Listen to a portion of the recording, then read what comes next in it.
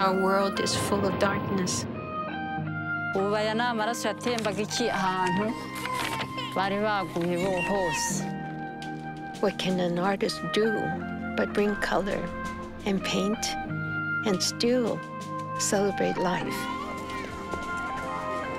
Broken places are my canvases. People's stories are my pigments, and people's talents and imagination are the instruments. I came from a broken place. Life breaks all of us.